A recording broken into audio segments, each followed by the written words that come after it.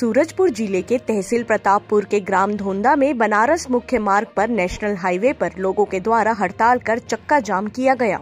कांग्रेस सरकार और प्रशासन के खिलाफ नारेबाजी कर अपना विरोध प्रदर्शन किया गया।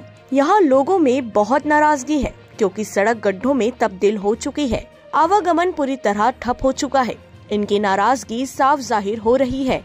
कि प्रदेश में जब से कांग्रेस सरकार आई है, तब से विकास काम खत्म हो चुके हैं। सड़क पूरी तरीके से टूट चुके हैं। यहाँ जगह जगह गड्ढे ही नज़र आते हैं। लोग दुर्घटना के शिकार भी हो रहे हैं।